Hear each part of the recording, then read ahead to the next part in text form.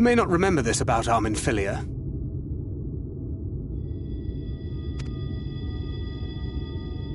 But prior to... After her father died, F'lhaminn took her in and taught her the trade. I think they were both seeking to fill the void left. Back in those days, I spent most of my time in the quicksand, or some other... I always felt a wave of relief when I saw she'd come back safe. Simply speaking with her more than once in a blue moon would have been a good start.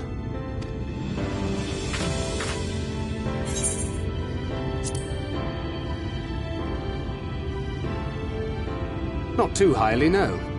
She once called me a wine-sodden wharf rat, which wouldn't have been half as galling had it not been so accurate. But that was a lifetime ago. Here and now I have another chance to do things right, and I will not squander it again.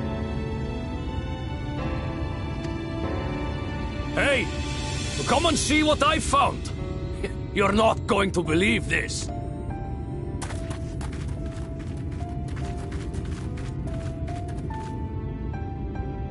Tell me it's Leonine. It is at that. It's mostly broken pieces. But look at this.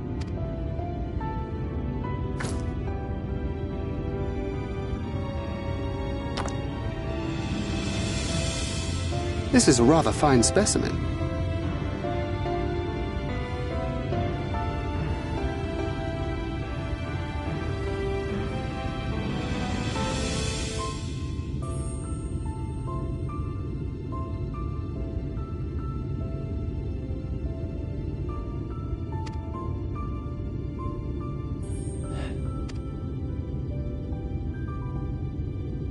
Ah, these scratches here. They're a little hard to make out. To my beloved Magnus and Schooly.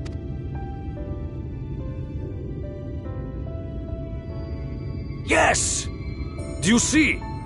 It was a gift to Magnus from his wife. She found it.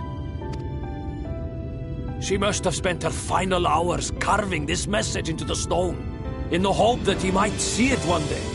Those rock-backed bastards must have made off with it before we could clear a path to her.